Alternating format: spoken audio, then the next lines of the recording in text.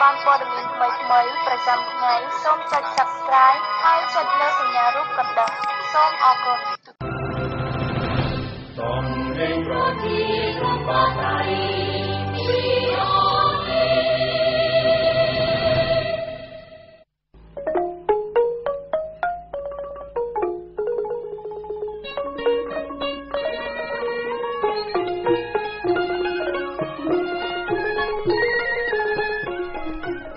ខ្ញុំបាទហ៊ុនសេរីវត្តសូមជម្រាបសួរលោកអ្នកនាងដែលកំពុងស្ដាប់កម្មវិធីព័ត៌មានពេលល្ងាចរបស់ VOD ជាទីមេត្រីមេត្តាព័ត៌មានសំខាន់សំខាន់សម្រាប់ថ្ងៃច័ន្ទទី5ទី10ខែតុលាឆ្នាំ2017នេះរួមមានលោកហ៊ុនសែនថានឹងផ្ដល់ប្រាក់ឧបត្ថម្ភ80ម៉ឺនរៀលដល់មន្ត្រីរដ្ឋដែលសម្រាលកូនរ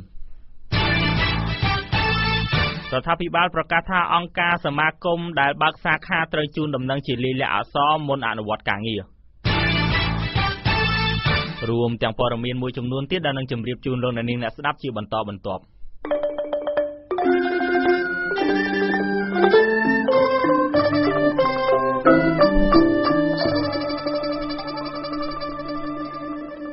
បាទលំដាប់តទៅនេះខ្ញុំបាទសូមជូនព័ត៌មានពិស្ដានៅប៉ុន្មានលោកនាយករដ្ឋមន្ត្រីហ៊ុនសែនបាន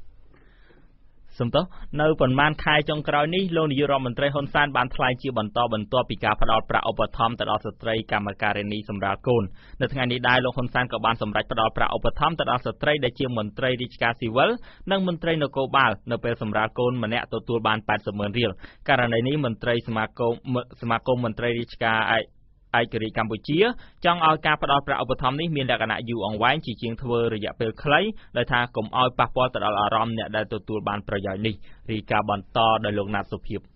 លោកនាយករដ្ឋមន្ត្រីហ៊ុនសែនបានថ្លែងថានៅដើមឆ្នាំ2018រដ្ឋាភិបាលនឹងផ្តល់ប្រាក់ឧបត្ថម្ភចំនួន80ម៉ឺនរៀលដល់ស្ត្រីជាមន្ត្រីរាជការស៊ីវិលនិងមន្ត្រីនគរបាលនៅពេលសម្រាលបានកូនមួយដោយថានេះជាគោលនយោបាយថ្មីរបស់រដ្ឋាភិបាលក្នុងពិធីប្រគល់សញ្ញាបត្រមួយក្នុងរាជធានីភ្នំពេញនាថ្ងៃទី9ខែតុលានេះលោកនាយករដ្ឋមន្ត្រីហ៊ុនសែនបានថ្លែងថាចាប់ពីខែមករាឆ្នាំ2018រដ្ឋាភិបាលនឹងផ្តល់ប្រាក់ឧបត្ថម្ភដល់ស្ត្រីដែលជាមន្ត្រីរាជការស៊ីវិលស្ត្រីនគរបាលស្ត្រីកងទ័ពកងរាជអាវុធហត្ថនិងទទួលបានប្រាក់ឧបត្ថម្ភ80ម៉ឺនរៀលសម្រាប់ការសម្រាលកូនបានមួយកូនភ្លោះ2និងកូនភ្លោះ3និងទទួលបានច្រើនជាងនេះចាប់ពីខែមករាឆ្នាំ2018តទៅស្ត្រីដែលជាមន្ត្រីរាជការស៊ីវិលស្ត្រីដែលជានគរបាលស្ត្រី ដែលជាកងទ័ពនឹងត្រូវទទួលបាននៅការឆ្លងទន្លេដែលបានដែលមានកូនមួយ ចំនួន80ម៉ឺនរៀល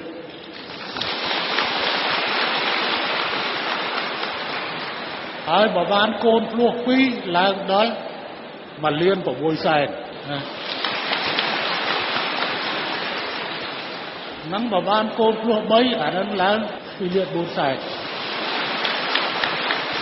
ប្រធានសមាគមមន្ត្រីរាជការឯករាជ្យកម្ពុជាលោកហៀកព្រីងសង្កេតឃើញថាការផ្ដល់ប្រាក់ឧបត្ថម្ភដល់ស្ត្រីដែលជាមន្ត្រីរាជការស៊ីវិលនិងនគរបាលនៅពេលសម្រាលកូននាពេលនេះហាក់ធ្វើឡើងស្របពេលដែលស្ថានភាពនយោបាយនៅកម្ពុជាកំពុងឡើងកម្ដៅទោះជាយ៉ាងណាលោកថារដ្ឋាភិបាលត្រូវធ្វើកិច្ចការនេះឲ្យបានយូរអង្វែងជាជាងធ្វើក្នុងរយៈពេលខ្លីដែលនាំឲ្យប៉ះពាល់ដល់អារម្មណ៍ស្ត្រីដែលទទួលបានផលប្រយោជន៍នោះអ្វីដែលបានគាត់ផ្ដល់ឲ្យយើងចង់ឲ្យមានការ ធ្វើអីជាលក្ខណៈជាភ្លៀងរលឹមដូចគាត់និយាយថាឲ្យវាជាប្រចាំណាសូមធ្វើអីយើងធ្វើតាមអ្វីដែលសិលៈទេសៈនៃស្ថានភាពពេលរបស់ឆ្នោតអីចឹងណាខ្ញុំចង់ឲ្យគាត់ធ្វើជាប្រចាំជាចិនត្រៃនឹងជាការល្អហ្នឹងហើយវាអត់មានលក្ខណៈជាចិនត្រៃវាធម្មតាវាតែងតែមានការជំនឿឃើញថាវាអានឹងវាស្ថានភាពនយោបាយឲ្យចំណេញរបស់អ្នកនយោបាយហើយ លោកហ៊ុនសែនបានបញ្ជាក់ថាបច្ចុប្បន្ននេះស្ត្រីក្នុងក្របខ័ណ្ឌមន្ត្រីរាជការស៊ីវិលនគរបាលនិងកងទ័ពសរុបប្រមាណ90000នាក់ដោយថាក្នុងនោះស្ត្រីដែលមានលទ្ធភាពមានកូនមានប្រមាណ10844នាក់ដែលក្នុងនោះមានមន្ត្រីរាជការស៊ីវិលចំនួន10360នាក់នគរបាលជាតិចំនួន194នាក់និងកងទ័ពមានចំនួន250នាក់លោកហ៊ុនសែនបន្តថាចាប់ពីឆ្នាំ2018តទៅរដ្ឋាភិបាលនឹងត្រូវឧបត្ថម្ភប្រាក់ដល់ស្ត្រីសម្រាលកូនដែលជាមន្ត្រីរាជការស៊ីវិលកងកម្លាំងប្រដាប់អាវុធមានប្រមាណ2លានដុល្លារខណៈស្ត្រីផ្នែកកម្មករក៏ត្រូវចំណាយប្រមាណជា10លានដុល្លារនៅដើមឆ្នាំ2018នេះផងដែរខ្ញុំណាតសុភាព VOD ភ្នំពេញ បាទក្រោយពីរដ្ឋាភិបាលបង្កើតច្បាប់ស្តីពីការគ្រប់គ្រងអង្គការមិនមែនរដ្ឋាភិបាលនិងសមាគមនៅថ្ងៃនេះរដ្ឋាភិបាលបានកំណត់ឲ្យអង្គការសមាគមដែលមានបំណងបើកសាខារបស់ខ្លួននៅតាមរាជធានីខេត្តនានាត្រូវធ្វើលិខិតជាលាយលក្ខណ៍អក្សរទៅកាន់ក្រសួងមហាផ្ទៃឬស្ថាប័នពាក់ព័ន្ធដើម្បីឲ្យស្របតាមច្បាប់ដោយថាបើមិនធ្វើតាមការណែនាំទេ អង្គការទាំងនោះនឹងប្រឈមទៅនឹងការបិទទ្វារឬលុបចេញពីបញ្ជីបាទរាយការណ៍ព័ត៌មាននេះដោយលោកណាសុភាព រដ្ឋាភិបាលបានឲ្យដឹងថាអង្គការសមាគមដែលកំពុងធ្វើសកម្មភាពក្នុងប្រទេសកម្ពុជា ហើយមានបំណងបើកសាខាបន្ថែមត្រូវជូនដំណឹងជាលេខលះអក្សរទៅក្រសួងមហាផ្ទៃឬស្ថាប័នពាក់ព័ន្ធមុនអនុវត្តការងាររបស់ខ្លួនដោយថាដើម្បីឲ្យស្របតាមច្បាប់សមាគមនិងអង្គការមិនមែនរដ្ឋាភិបាលក្នុងលិខិតរបស់ក្រសួងមហាផ្ទៃចុះថ្ងៃទី2ខែតុលាដែល VOD ទើបទទួលបាននៅថ្ងៃទី9ខែតុលានេះ មានខ្លឹមសារថាសមាគមនិងអង្គការមិនមែនរដ្ឋាភិបាលក្នុងស្រុកដែលបានចុះបញ្ជីត្រឹមត្រូវតាមច្បាប់កំណត់ ហើយមានបំណងធ្វើសកម្មភាពនៅក្នុងដែនសមត្ថកិច្ចរដ្ឋបាលរាជធានីខេត្តណាមួយអាចជូនដំណឹងដោយផ្ទាល់ជាលេខលះអក្សរក្នុងរយៈពេល3ថ្ងៃនិងភ្ជាប់នៅគម្រោងសកម្មភាពរបស់ខ្លួនបញ្ជូនទៅក្រសួងមហាផ្ទៃឬរដ្ឋបាលរាជធានីខេត្តនោះអំពីការបើកសាខាបន្ថែមនៅក្នុងរាជធានីឬបណ្ដាខេត្តនានាមុនពេលអនុវត្តសកម្មភាពរបស់ខ្លួនលិខិតដែលបញ្ជាក់ថាបើអង្គការសមាគមមិនធ្វើតាមការណែនាំនោះទេ ហើយអង្គការសមាគមនោះចុះធ្វើសកម្មភាពប្រមូលផ្ដុំប្រជាពលរដ្ឋធ្វើបាតកម្មនានាឬធ្វើឲ្យប៉ះពាល់ដល់សន្តិភាពសាធារណៈនិងសន្តិសុខជាតិគឺរដ្ឋបាលរាជធានីខេត្តនិងអាជ្ញាធរពាក់ព័ន្ធមានសិទ្ធិបញ្ឈប់ឬផ្អាកសកម្មភាពឬលុបឈ្មោះអង្គការសមាគមនោះចេញពីបញ្ជីនៅក្រសួងមហាផ្ទៃមន្ត្រីស៊ើបអង្កេតជាន់ខ្ពស់នៅសមាគមអាត់ហុកលោកសង្សានករណាមានប្រសាសន៍ថាអង្គការសមាគមត្រូវតែជូនដំណឹងជាលាយលក្ខណ៍អក្សរទៅក្រសួងមហាផ្ទៃឬស្ថាប័នរដ្ឋបាលរាជធានីខេត្តនានាពាក់ព័ន្ធការធ្វើលិខិតជាលាយលក្ខណ៍អក្សរជូនដំណឹងទៅក្រសួងពីការបើកសាខាមុនអនុវត្តសកម្មភាពរបស់ខ្លួនដោយថាកុំឲ្យស្ថាប័នរដ្ឋយល់ថាអង្គការសមាគមប្រឆាំងរដ្ឋាភិបាលដោយកាលពីកន្លងទៅយើងដឹងហើយថាសកម្មភាពរបស់ពួកយើងមិនមែនជាសកម្មភាពអ្វីមួយដែលធ្វើការដើម្បីប្រឆាំងទៅនឹងរដ្ឋាភិបាលទេទៅទៅវិញគឺជាអង្គការមួយដែលជាដៃគូរបស់រដ្ឋាភិបាលដើម្បីធ្វើការចូលរួមក្នុងការស្ដារឬក៏ជួយសហការជាមួយរដ្ឋាភិបាលវិញទេដើម្បីការពារទៅលើសិទ្ធិរបស់ប្រជាពលរដ្ឋនិងលទ្ធិប្រជាធិបតេយ្យដោយស្របទៅលើច្បាប់អន្តរជាតិហើយនិងច្បាប់ជាតិជាពិសេសគឺច្បាប់កម្ពុជារបស់ប្រទេសយើងគឺរដ្ឋធម្មនុញ្ញរបស់កម្ពុជានឹងតែម្ដង របាយការណ៍ស្តីពីលទ្ធផលការងារឆ្នាំ2015និងលើកទិសដៅការងារឆ្នាំ2016របស់ក្រសួងមហាផ្ទៃបានបង្ហាញឲ្យដឹងថាសមាគមអង្គការមិនមែនរដ្ឋាភិបាល ដែលបានចុះបញ្ជីនៅក្រសួងមហាផ្ទៃមានចំនួនសរុប4715ក្នុងនោះសមាគមមានចំនួន1832អង្គការមិនមែនរដ្ឋាភិបាល មានចំនួន2883ខ្ញុំណាតសុភាព VOD ភ្នំពេញ បាទអតីតសមាជិក2នាក់នៃនៅសំទោសបាទអតីតសមាជិក2នាក់នៃសមាជិកគណៈកម្មការបុណ្យលោកកែមលីនៅថ្ងៃច័ន្ទនេះស្នើទៅឲ្យតុលាការពន្យាពេលចូលបំភ្លឺដែលថាពួកគេកំពុងបំពេញការងារនៅក្រៅប្រទេសនិងពុំបានទទួលដីកាកោះអញ្ជើញករណីបណ្ដឹងជាមួយនឹងប្រធានបកមួយពាក់ព័ន្ធទៅនឹងថវិកាបុណ្យសពលោកកែមលី ប្រាប់ថ្លែងប្រាប់ VOD យ៉ាងខ្លីនៅព្រឹកនេះលោកប៉ាងួនទៀងដែលជាអតីតសមាជិកម្នាក់នៃគណៈកម្មការបុណ្យសពមានប្រសាសន៍ថាលោកសម្រេចពឹងពាក់មេធាវីដើម្បីស្នើសុំពន្យាពេលនៃការចូលបំភ្លឺនៅតុលាការដែលបានកំណត់នៅព្រឹកនេះដោយថាលោកជាប់បំពេញបេសកកម្មនៅក្រៅប្រទេសចំណែកអតីតសមាជិកនៃគណៈកម្មការបុណ្យសពលោកកែមលីម្នាក់ទៀតគឺលោកមឿនដុល្លារក៏ស្នើសុំចូលបំភ្លឺនៅ ក៏ស្នើសុំចូលបំភ្លឺនៅតុលាការផងដែរដោយថាលោកពុំទាន់ទទួលបានដីកាផ្ទាល់ដៃនៅឡើយហើយទើបត្រឡប់មកពីបរទេសនេះបើយើងបើយោងតាមពាក្យសុំលើកពេលសុំចូលបំភ្លឺនៅថ្ងៃទី6ខែតុលានេះសំទោស កាលពីថ្ងៃទី22ខែកញ្ញាឆ្នាំ2017សាលាដំបងរាជធានីភ្នំពេញបានចេញដីកាកោះអញ្ជើញអតីតសមាជិកគណៈកម្មការបុណ្យសពលោកកែមលីដែលមានលោកប៉ាងវុនទៀងលោកមឿនដុល្លារនិងប្រដេជគុណបុត្របន្ទិញតាមបណ្ដឹងរបស់លោកពេជ្រស្រស់ប្រធានគណៈបកយុវជនកម្ពុជាដើម្បីសាកសួរបំភ្លឺពាក់ព័ន្ធទៅនឹងបច្ច័យបុណ្យសពលោកកែមលីអតីតសមាជិកម្នាក់ទៀតគឺប្រដេជគុណបុត្របន្ទិញដែលត្រូវបានកោះហៅចូលបំភ្លឺនៅថ្ងៃទី11តុលាខាងមុខគឺធ្លាប់បានបញ្ជាក់ចំហ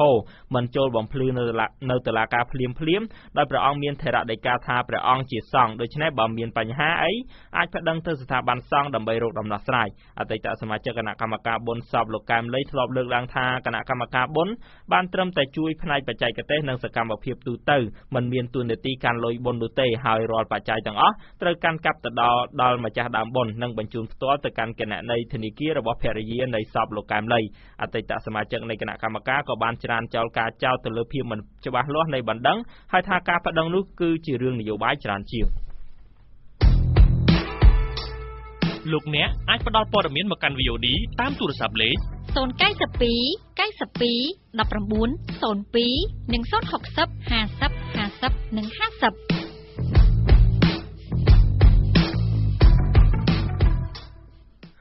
បាទលោកអ្នកស្ដាប់ជាទីមេត្រីអ្នកមានចំនួនដីធ្លីតារាមរៃនៅក្នុងខេត្តកោះកុងអះអាងថាកាលពីម្សិលមិញក្រសួងរៀបចំដែនដីនគររូបនីយកម្មនិងសំណង់បានដោះស្រាយបញ្ចប់វិវាទដីធ្លីឲ្យពួកគាត់បានខ្លះហើយខណៈមួយចំនួនក្រសួងថាកំពុងនឹងដោះស្រាយពាក់ព័ន្ធទៅនឹងបញ្ហានេះសង្គមស៊ីវិលបានសាទរចំពោះយន្តការដោះស្រាយបញ្ចប់វិវាទដីធ្លីនេះរាយការណ៍បន្តដោយកញ្ញាខណ្ឌលក្ខិណា អ្នកមានចំនួនដីធ្លីនៅឃុំជីខក្រោមស្រុកស្រែអំបិលខេត្តកោះកុងអះអាងថាក្រសួងរៀបចំដែនដីនគររូបនីយកម្មនិងសំណង់ បានដោះស្រាយបញ្ហាដីធ្លីឲ្យពួកគាត់មួយចំនួនខណៈមួយចំនួនទៀតកំពុងបន្តដោះស្រាយកន្លងមកអ្នកមានចំនួនដីធ្លីនៅខេត្តកោះកុងជាង100គ្រួសារធ្លាប់ដាក់ញត្តិទៅក្រសួងរៀបចំដែនដីនគររូបនីយកម្មនិងសំណង់និងស្ថាប័នពាក់ព័ន្ធដើម្បីឲ្យជួយដោះស្រាយបញ្ហាដីធ្លីដែលពលរដ្ឋថាពាក់ព័ន្ធជាមួយក្រុមហ៊ុនពីរគឺក្រុមហ៊ុនកោះកុងស៊ូគើនិងក្រុមហ៊ុនកោះកុង Plantation របស់លោកហេងហ៊ុយតំណាងពលរដ្ឋអ្នកស្រីផៅញើងប្រាប់ VOD នៅថ្ងៃច័ន្ទទី9ខែតុលានេះថាកាលពីម្សិលមិញក្រសួងរៀបចំដែនដី និងក្រុមហ៊ុនលោកហេងហ៊ុយបានដោះស្រាយបញ្ចប់បញ្ហាដីធ្លីឲ្យពួកគាត់ដោយបានប្រគល់ដីលំនៅឋាន ជាង50ហិកតា ឲ្យពួកគាត់ទាំង17គ្រួសារវិញហើយប៉ុន្តែសម្រាប់ពលរដ្ឋ175គ្រួសារដែលមានចំនួនដីធ្លីជាមួយក្រុមហ៊ុនស្កអំពៅអ្នកស្រីថានៅមិនទាន់ដោះស្រាយនៅឡើយអ្នកស្រីស្នើទៅរដ្ឋាភិបាលនិងស្ថាប័នពាក់ព័ន្ធឲ្យពន្លឿនការដោះស្រាយដើម្បីបញ្ចប់វិវាទដីធ្លីដែលបានអូសបន្លាយជិត10ឆ្នាំមកនេះយើងសង្ឃឹមថាអាដាមជាសភារានិងសម្ដេចនឹងបោះបង់ ចោលអ្វីដែលពួកខ្ញុំបានទៀមទាកន្លងទៅក្នុងករណីដីសំពៅរបស់ក្រុមហ៊ុនបោះកុងស៊ូហ្គាដែលកន្លងមកគឺជាក្រុមហ៊ុនលោកលីយ៉ុងអាត់នោះអញ្ចឹងយើងរំពឹងថាពួកគាត់នឹងផ្ដល់អត្ថភាពក្នុងការដោះស្រាយឲ្យវិវាទដីនេះបញ្ចប់ក្នុងរយៈពេលខ្លីខាងមុខនេះដល់ពួកខ្ញុំ175គ្រួសារទៀតអូន ទោះជាយ៉ាងណាមន្ត្រីសម្របសម្រួលនៃក្រុមហ៊ុនកំពង់ស្ពឺស៊ូគ័រលោកសិនសុថាលើកឡើងថាក្រុមហ៊ុនកោះកុងស៊ូគ័រលែងជារបស់លោកលីយ៉ុងផាត់ទៀតហើយជាទូទៅយើងច្រឡំយូរហើយណានិយាយជារួមគឺពាក់ព័ន្ធនឹងបញ្ហានៅកោះកុងតែពាក់ព័ន្ធនឹងគាត់ទៀតហើយលោកញ៉ាទៀតហើយណាតែក៏គឺមួយវិញ កាលពីថ្ងៃទី30ខែសីហាឆ្នាំ2017រដ្ឋាភិបាលបានបញ្ជាទៅមន្ត្រីក្រមអាវ៉ាតឲ្យពន្លឿនដោះស្រាយបញ្ចប់វិវាទដីធ្លីយ៉ាងតិចចំនួន3ខេត្តដែលជាប់ពាក់ព័ន្ធជាមួយក្រុមហ៊ុនស្ករអំពៅនៅក្នុងខេត្តកោះកុងកំពង់ស្ពឺ និងខេត្តព្រះវិហារការពន្លឿនការដោះស្រាយនេះធ្វើឡើងស្របពេលកម្ពុជានឹងរៀបចំការបោះឆ្នោតជាតិនៅឆ្នាំ2018ចំណែកនាយកលេខាធិការដ្ឋានក្រមការងារពិសេសសិទ្ធិលំនៅឋានលោកស៊ីភិរមធ្លាប់លើកឡើងថាយន្តការដោះស្រាយបញ្ចប់វិវាទដីធ្លីរបស់រដ្ឋាភិបាលពេលនេះជាផ្នែកមួយជួយស្ដារមុខមាត់គណៈបកកាន់អំណាចគណៈការបោះឆ្នោតថ្នាក់ជាតិចិត្តមកដល់គណៈបកប្រជាជនលោកមិនអាចមើលងាយតូចតាចបានទេបាទតូចតាចនេះបើសិនជាគាត់ប្រមូលដុំវាអាចធ្វើអាធំហ្នឹងបាក់ជើងឬក៏រីកអីដែរណាអញ្ចឹងត្រូវតែយើងទៅទុកដាក់បាទពេលជួយនេះវាងាយដោះស្រាយផងជួយជួយវាមិនជារឿងអីធំដែលត្រូវពិបាកដោះស្រាយអញ្ចឹងខ្ញុំគិតថាគណៈបកកាន់អំណាចលោកមិនឆាប់នោះទេគាត់នឹងដោះស្រាយឲ្យបានទាន់ពេលពេលវេលាដើម្បីកុំឲ្យប៉ះពាល់ទៅដល់សម្លេងឆ្នោតរបស់គណៈបកកណ្ដាលនៅការបោះឆ្នោត2018គួររំលឹកថាពលរដ្ឋនៅខេត្តកោះកុងជិត200គ្រួសារនៅស្រុកស្រែអំបិលនិងស្រុកបទុមសាគរអះអាងថាពួកគេមានចំនួនដីធ្លីជាមួយក្រុមហ៊ុនកោះកុងស៊ូគើនិងក្រុមហ៊ុនកោះកុង Plantation ដោយបាត់បង់ដីទំហំ841ហិកតាតាំងពីឆ្នាំ2006និងអ្នកខ្លះតាំងពីឆ្នាំ2009ខ្ញុំខណ្ឌលក្ខណា VOD ភ្នំពេញ មន្ត្រីសហជីពសហព័ន្ធកម្មករចំណីអាហារកម្ពុជាថាសកម្មភាពគម្រាមកំហែងកម្មការិនីឲ្យរំលូតកូនដើម្បីរក្សាការងារខ្លួននៅតែកើតមាននៅកម្ពុជាដោយថាសកម្មភាពនេះធ្វើឡើងដោយមានភាពបិទបាំងពីមជ្ឈដ្ឋានសង្គម ក្នុងវេទិកាសវត្ថិភាពការងារនិងមុខរបរដែលបានរៀបចំដោយមជ្ឈមណ្ឌលកម្ពុជាដើម្បីប្រព័ន្ធផ្សព្វផ្សាយឯករាជ្យកាលពីថ្ងៃទី8តុលាម្សិលមិញអនុប្រធានសហព័ន្ធសហជីពកម្មករចំណីអាហារកម្ពុជាលោកស្រីអូតេផូលីនបានថ្លែងថារហូតមកដល់ពេលបច្ចុប្បន្ននេះសកម្មភាពរំលោភបំពានពីសំណាក់ថាកែបង្ខំឲ្យកម្មការិនីរោងចក្រជាពិសេសទៅលើអ្នកធ្វើការនៅហាងខារ៉ាអូខេរំលូតកូនដើម្បីរក្សាការងារគឺនៅតែកើតមានដដែលដែលស្ថិតនៅក្នុងរូបភាពបិទបាំងហើយជនរងគ្រោះមិនហ៊ានតវ៉ានិងដាក់ពាក្យប្តឹងនោះទេគាត់មានកូនចឹងគាត់ទៅតាមសិក្សាតាម3ខែមុនខែចឹងពេលពូគាត់ស្គីដល់គាត់ឈប់នៅពេលដឹងចឹងថាកន្លែងយើងអត់ទទួលយកបានទេព្រោះកន្លែងតែសុបាយដូចជាចង់សុខកូនត្រូវតែអឺចង់មានការងារធ្វើត្រូវតែអត់កូនភាសានេះគឺបង្ខំឲ្យស្ត្រីអត់ជំរឿនណាចឹងគាត់មកចំនួនទៅគាត់រថាគាត់ខ្មាស់អៀនទៅលើការងារគាត់ហ៊ានទៅពេទ្យណា គាត់ទៅទិញថ្នាំលេខលេខលេខថ្នាំទម្លាក់កូនទៅខ្លួនឯងទៅពេលដែលគាត់ញ៉ាំថ្នាំនោះគាត់ប្រាប់ថាគេហាមមិនឲ្យញ៉ាំតកមិនឲ្យញ៉ាំស្រាឧទាហរណ៍នៅពេលល្ងាចឡើងភ្ញៀវបង្ខំគាត់តិចអួយគាត់ញ៉ាំព្រោះអាការៈនោះឈាមធ្លាក់មកអស់ចប់ក៏មានដែរចឹងណាហើយឡើយមានច្រើនចាខ្ញុំខ្ញុំមើលឃើញការ៉ាអូខេនៅស្រុកខ្មែរនេះនៅកន្លែង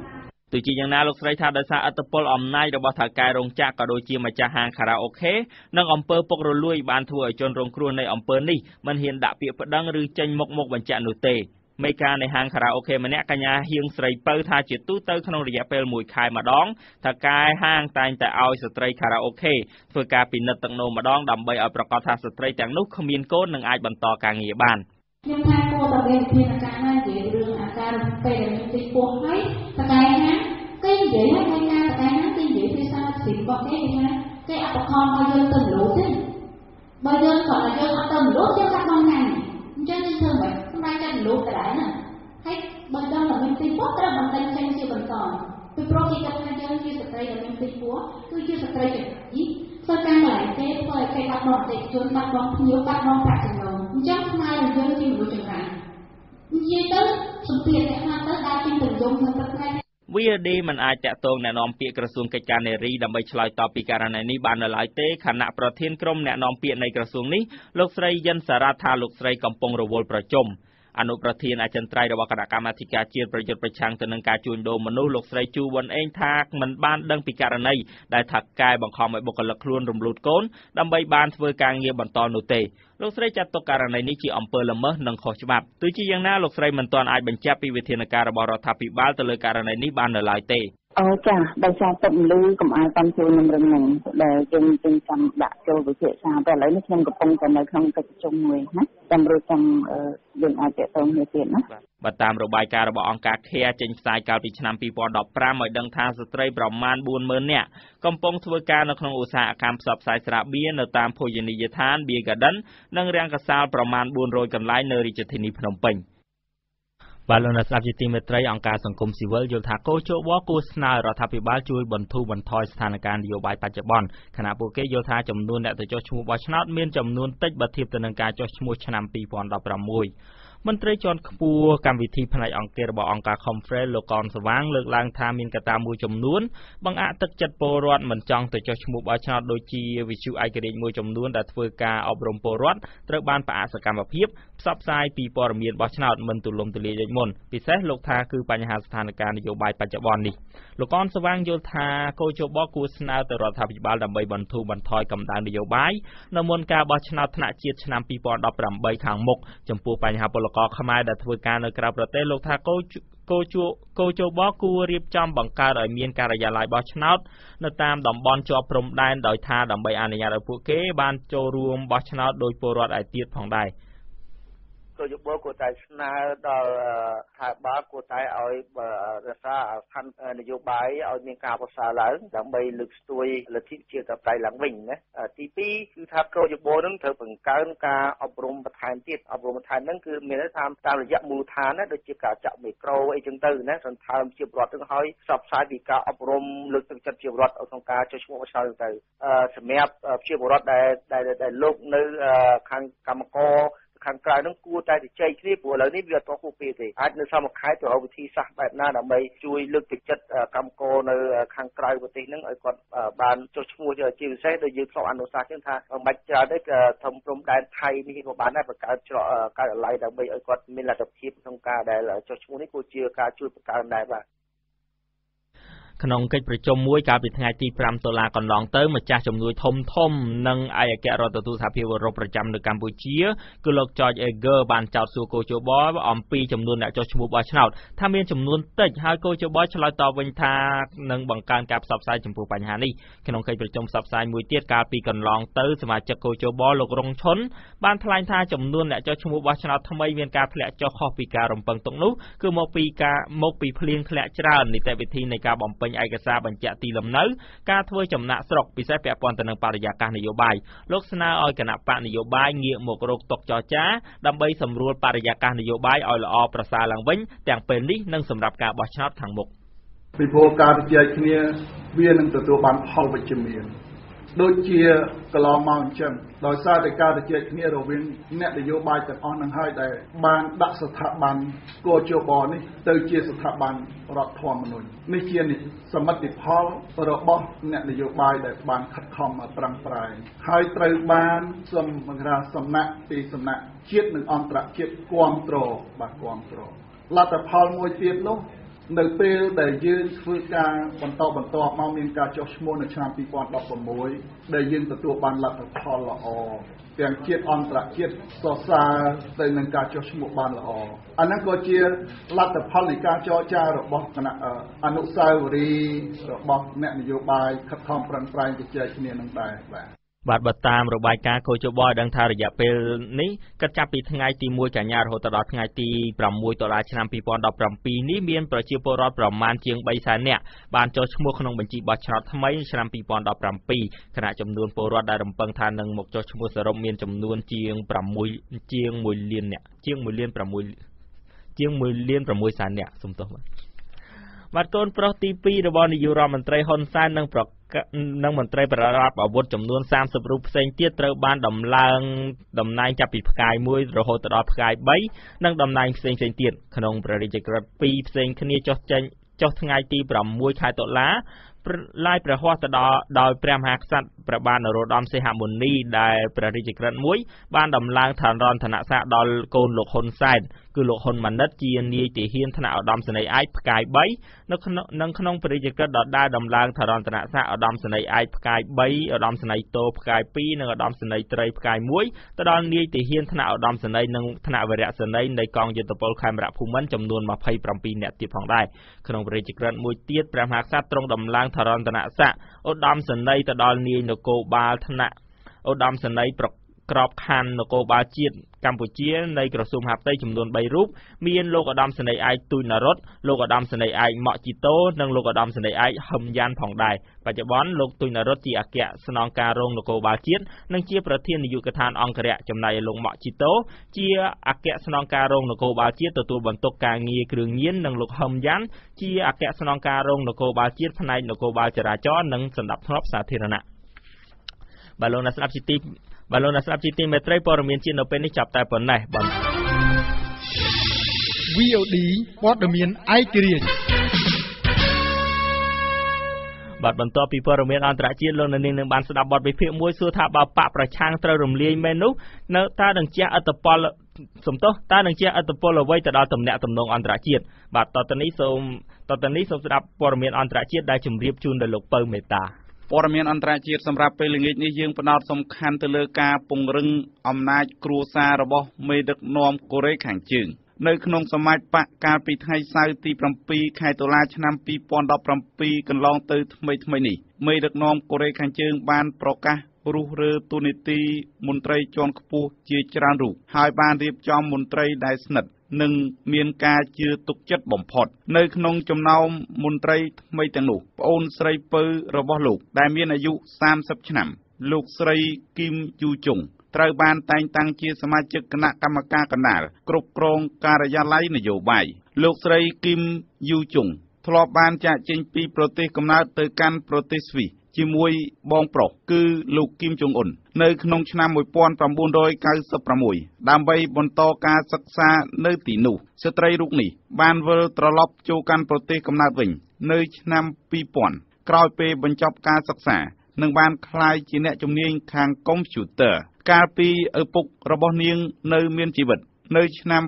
2002លោកគីមចុងអ៊ីលធ្លាប់បានថ្លែងជាសាធារណៈថាកូនស្រីពៅរបស់លោក គឺគីមយូជុងចូលចិត្តកិច្ចការនយោបាយខ្លាំងណាស់ហើយនាង ចង់បានតំណែងមួយក្នុងការដឹកនាំនៅកូរ៉េខាងជើងទោះជាឪពុករបស់នាងធ្លាប់លើកឡើងឈ្មោះជាសាធារណៈក៏ដោយប៉ុន្តែលោកស្រីគីមយូជុងមិនដែលបង្ហាញមុខជាសាធារណៈនោះទេសូម្បីតែក្នុងពេលបុណ្យសពឪពុករបស់នាងកាលពីឆ្នាំ2011ក៏មិនបានបង្ហាញវត្តមានលេចធ្លោនោះទេ អ្នកតាមដានស្ថានភាពនយោបាយរបស់កូរ៉េខាងជើងបានចាប់អារម្មណ៍ថាគីមយូជុងហាក់បង្ហាញមុខនៅក្នុងកម្មវិធីធំធំជាសាធារណៈជាមួយបងប្រុសតាំងពីឆ្នាំ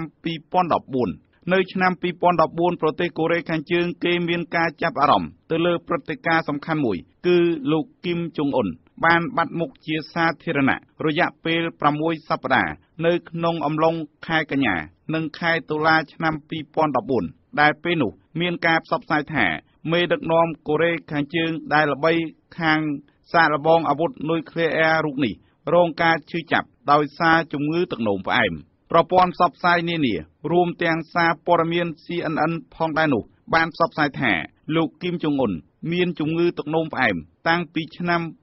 2009នៅឆ្នាំ2013ព្រឹត្តិការណ៍ចាប់អារម្មណ៍មួយទៀតគឺលោកគីមចុងអ៊ុន បានធ្វើទារុណកម្មនិងសម្លាប់មន្ត្រីជាន់ខ្ពស់របស់ខ្លួនមួយក្រុម ដែលក្នុងនោះក៏រួមមានឪពុកមារបស់លោកផងដែរដោយចោទថាក្បត់ជាតិចង់ផ្ដួលរំលំរដ្ឋាភិបាលលោកចាងសុងធៀជាឪពុកមារបស់លោកគីមចុងអ៊ុនដែលត្រូវបានសម្លាប់នៅពេលនោះគឺជាមនុស្សដែលមានទំនាក់ទំនងល្អជាមួយកូរ៉េខាងត្បូងហើយបង្ហាញចំហចង់ឲ្យមានការបង្រួបបង្រួមកូរ៉េឡើងវិញ ងាកមកនិយាយពីលោកស្រីគីមយូជុងគឺត្រូវបានដំឡើងតំណែងតាំងពីពេលបងប្រុសមានជំងឺក្នុងឆ្នាំ2014ឲ្យកាន់ការងារជាអនុប្រធាននាយកដ្ឋានឃោសនាការ និងអប់រំនៅក្នុងបកបន្ទាប់មកត្រូវបានដំឡើងតំណែងជាបន្តបន្ទាប់លោក Peter Hayes ជាសាស្ត្រាចារ្យនៃសាកលវិទ្យាល័យកណ្ដាលសម្រាប់សិក្សាសន្តិសុខអន្តរជាតិនៅក្នុងទីក្រុងស៊ីដនីនៃប្រទេសអូស្ត្រាលី បានថ្លែងថា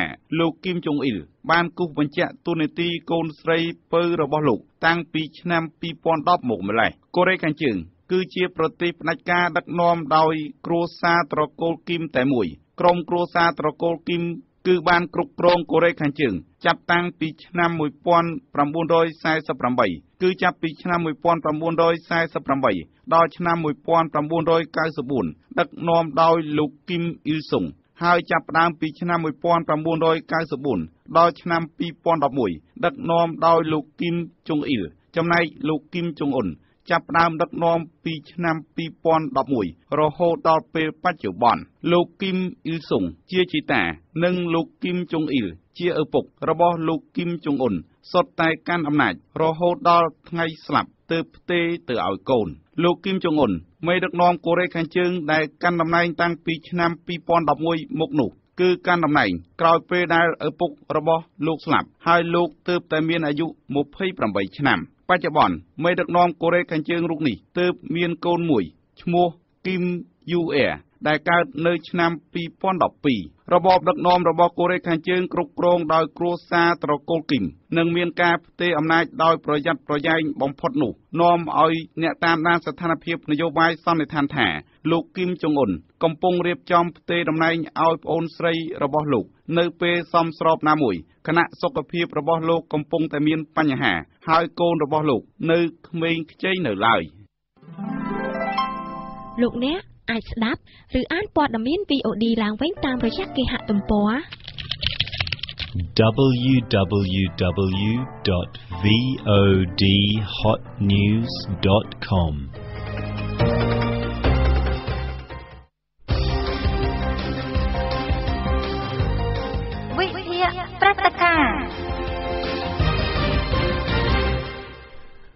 អ្នកវិភាគលើកឡើងប្រហាក់ប្រហែលគ្នាថាភាពផុយស្រួយនៃការបែកបាក់ជាតិកាន់តែខិតជិតចូលមកដល់គណៈរដ្ឋាភិបាលបានដាក់ពាក្យប្តឹងជាផ្លូវការទៅកាន់តុលាការកំពូលកាលពីសប្តាហ៍មុនសូមឲ្យរំលាយគណៈបកសង្គ្រោះជាតិដែលសង្គ្រោះជាតិមានអ្នកគ្រប់គ្រងចិត្តពាក់កណ្ដាលប្រទេស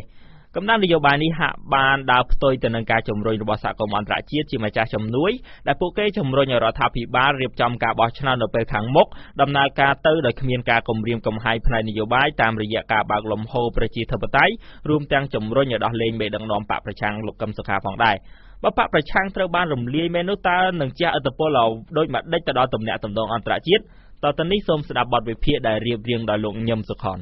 អ្នកតាមដានលើកឡើងថាបកកណ្ដាលអំណាចហាក់កំពុងតែរុញយន្តការចង់រំលាយគណៈបកប្រឆាំងមុនការបោះឆ្នោតបើទោះបីជាសហគមន៍អន្តរជាតិមួយចំនួនបានប្រតិកម្មខ្លាំងៗនិងស្នើដោះលែងមេដឹកនាំបកប្រឆាំងលោកកឹមសុខាក៏ដោយក្រសួងមហាផ្ទៃកាលពីសប្តាហ៍មុនបានដាក់ពាក្យប្តឹងជាផ្លូវការទៅតុលាការកំពូលដោយផ្អែកលើសំណុំរឿងចោទប្រកាន់លោកកឹមសុខាខណៈដែលអ្នកតាមដានថាតុលាការនៅតែជាសេនាធិការរបស់មេដឹកនាំបកកណ្ដាលអំណាច ស្របគ្នានេះដែរសារព័ត៌មានក្នុងស្រុកខ្លះបានចុះផ្សាយថាពេលគណៈបកសង្គ្រោះជាតិត្រូវបានគេរំលាយអាសនៈ55របស់បកប្រឆាំងនោះនឹងត្រូវគេយកទៅបែងចែកឲ្យគណៈបកមួយចំនួន ដែលគ្មានសម្លេងគ្រប់គ្រងជាប់ជាតំណាងរាស្ត្រអំឡុងបោះឆ្នោតឆ្នាំ2013 ក៏ប៉ុន្តែបើគេពិនិត្យមើលពីចរន្តនៅក្រៅប្រទេសវិញក្រោយពីការចាប់ខ្លួនលោកកឹមសុខាសហគមន៍អន្តរជាតិមានសហភាពអឺរ៉ុបអាល្លឺម៉ង់អូស្ត្រាលីបារាំងនិងសហរដ្ឋអាមេរិកផងនោះបានជំរុញរដ្ឋាភិបាលកម្ពុជាដោះលែងលោកកឹមសុខាវិញដោយថាចំណាត់ការចាប់ខ្លួននោះជាការគំរាមកំហែងផ្នែកនយោបាយផ្ទុយនឹងគោលការណ៍លទ្ធិប្រជាធិបតេយ្យបើគណៈបកប្រឆាំងត្រូវបានរំលាយមែននឹងជាអតិពលអ្វីខ្លះដល់ទំនាក់ទំនងអន្តរជាតិ អ្នកនយោបាយជើងចាស់លោកលឺលៃស្រេងបានលើកឡើងថាបើគេពិនិត្យមើលពីចំនួនអាសនៈរបស់គណៈបកប្រឆាំងចំនួន55ទល់នឹងគណៈបកប្រជាជនកម្ពុជា68នោះលោកថាគណៈបកទាំងពីរមានអ្នកគ្រប់គ្រងប្រហាក់ប្រហែលគ្នា ព្រឹទ្ធាចារ្យរូបនោះបានលើកឡើងទៀតថាបើតឡាការកំពូលសម្រាប់ឲ្យរំលាយគណៈបកសង្គ្រោះជាតិដោយក្រសួងមហាផ្ទៃប្តឹងមែនលោកថាបរដ្ឋស្ទើរតែពាក់កណ្ដាលនគរនិងអស់ជំនឿលើប្រព័ន្ធយុតិធធដោយចាត់ទុកថាតឡាការជាឧបករណ៍សម្រាប់អ្នកនយោបាយបញ្ជា ដែលលោកប្រើពាក្យថាជាតឡាការតេឡេ លោកលឺលៃស្រេងបានវិភាគទៀតថាជំរឿបែបនេះបង្ហាញថាស្ថាប័នកម្ពុជាពីរដែលមានចែងក្នុងរដ្ឋធម្មនុញ្ញហាក់កំពុងជំរុញឲ្យមានការបែកបាក់ជាតិខ្ញុំថាធ្វើអត្តឃាតទេធ្វើរបៀបនេះនោះបានហើយកុំសង្ឃឹមថាអូយកណែណែថាអីនេះយកឲ្យចែកអាគណៈបកទៅទៅអត់ទេសភាតំណាងរាស្ត្រគឺសភាជឿតាំងដល់សម្លេងឆ្នោតមិនសភាដល់ពេលណាមកយកក៏បានដែរអត់ទេអត់មិនចឹងទេចឹងមិន ណាយ៉ាងណានេះលេខសាយទេលេខសាយទៅបំពេញច្បាប់ទៅបំពេញច្បាប់ទៅលោកលឹកលៃស្រេងបានបន្តដូចនេះទៀតថារំលាយគណៈបកសង្គ្រោះជាតិនេះគឺដូចរំលាយគណៈបកខ្លួនឯងចឹងពីព្រោះរំលាយគណៈបកសង្គ្រោះជាតិទៅសភាមានសម្លេង68អត់ដល់នៃ68វាខុសពីរដ្ឋធម្មនុញ្ញជាសភាពេញអង្គតើមាន123ដូច្នេះ68ហ្នឹងអត់អត់អត់ស្របច្បាប់អត់ស្របច្បាប់ពេលណាប្រជាជនត្រូវតែលាយដូចគ្នាអា ហ្នឹងខ្ញុំនិយាយតាមច្បាប់ទេណាមន្ត្រីផ្នែកច្បាប់នៃអង្គការឃ្លាំមើលការបោះឆ្នោត Conference លោកយាងសុធិរាបានលើកឡើងថាច្បាប់បោះឆ្នោតថ្មី ដែលប្រកាសឲ្យប្រើនៅឆ្នាំ2015មានចែងពីការដកហូតយកអាសនៈរបស់គណៈបកនយោបាយណាមួយ ទៅបែងចែកឲ្យគណៈបកនយោបាយមួយផ្សេងទៀតនៅក្នុងករណីគណៈបកនោះធ្វើពហិការមិនចូលប្រជុំសភាដំបូងឬក៏មិនចូលស្បត់តាមការកោះហៅរបស់ព្រះមហាក្សត្រក៏ប៉ុន្តែមន្ត្រីច្បាប់រូបនោះអះអាងថាតាមគោលការណ៍ច្បាប់ ច្បាប់ថ្មីនេះមិនអាចអនុវត្តដោយយកអាសនៈរបស់គណៈបកសង្គ្រោះជាតិដែលទទួលបានអំឡុងឆ្នាំ2013មកអនុវត្តបាននៅពេលនេះទីបើសិនជាយកបញ្ញត្តិថ្មីនឹងយកមកយកច្បាប់បោះឆ្នោតថ្មីនឹងយកមកអនុវត្តវាមានន័យថាវាទៅជាអនុវត្តច្បាប់ប្រតិសកម្មឲ្យធាក់ថយក្រោយហើយ បើតាមច្បាប់ស្តីពីការជ្រើសតាំងតំណាងរាស្ត្រដែលប្រកាសប្រើប្រាស់នៅឆ្នាំ2015ត្រង់ជំពូក9បានចែងពីការបាត់បង់អាសនៈនៃរដ្ឋសភានិងការជ្រើសតាំងជំនួសមាត្រា139ចែងថាបន្ទាប់ពីការបោះឆ្នោតបានប្រព្រឹត្តទៅដោយសេរីត្រឹមត្រូវនឹងយុត្តិធម៌ស្របតាមរដ្ឋធម្មនុញ្ញនិងត្រូវប្រកាសជាផ្លូវការដោយគណៈកម្មាធិការជាតិរៀបចំការបោះឆ្នោតហើយនោះគណៈបកអាចបាត់បង់អាសនៈវិញក្នុងករណី គណៈបកនយោបាយនោះធ្វើបេក្ខការមិនព្រមចូលរួមសម័យប្រជុំដំបូងតាមការកោះប្រជុំរបស់ព្រះមហាក្សត្រធ្វើបេក្ខការមិនចូលរួមប្រជុំសភា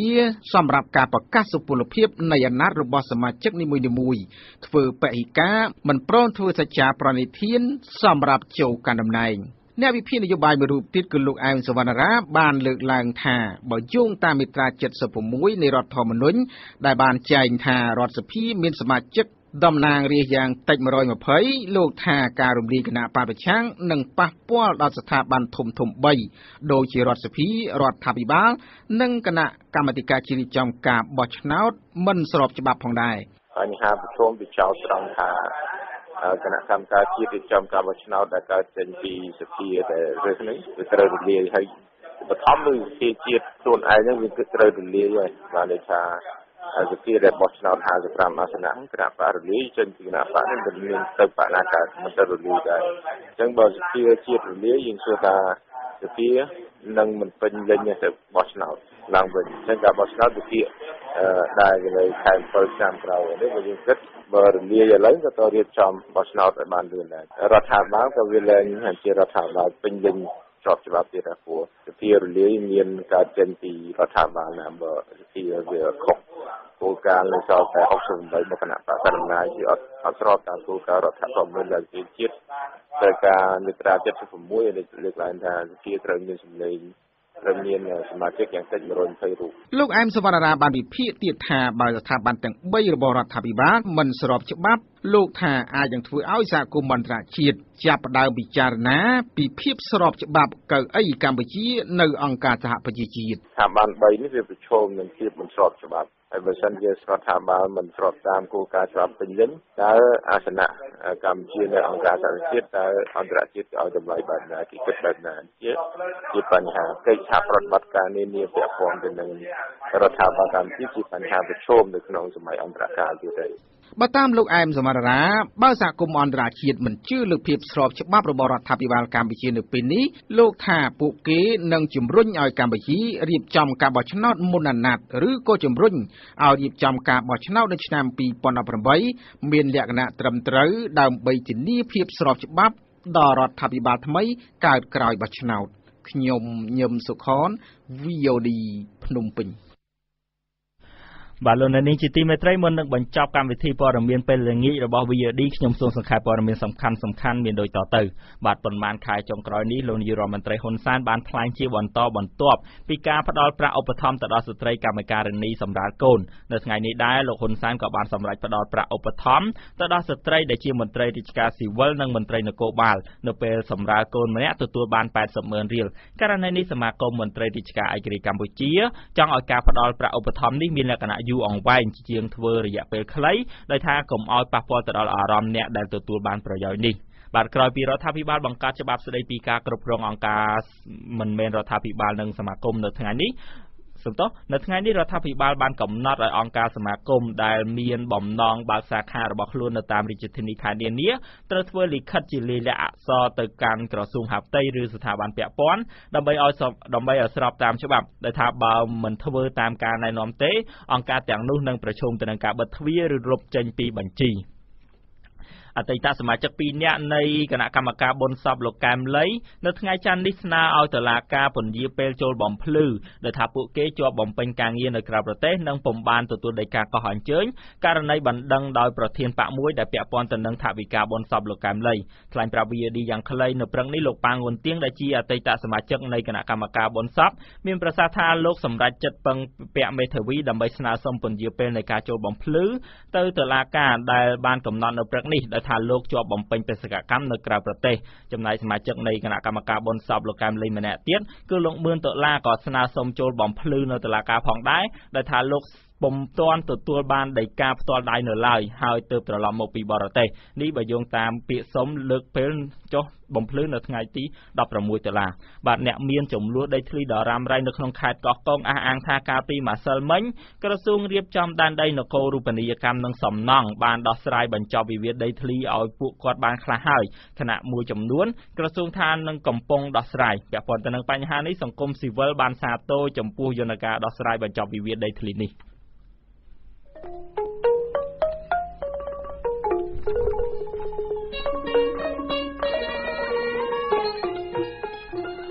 បាទលោកនាងអ្នកស្ដាប់ជាទីមេត្រីកម្មវិធីព័ត៌មានពេលល្ងាចរបស់ VOD ដែលបានផ្សាយជូនលោកនាងអ្នកស្ដាប់នៅពេលនេះចាប់តែប៉ុណ្ណេះខ្ញុំបាទហ៊ុនស្រីវត្តនិងអ្នកបញ្ជាម៉ាស៊ីនផ្សាយរួមទាំងសក្ការីសូមអរគុណសូមជម្រាបលា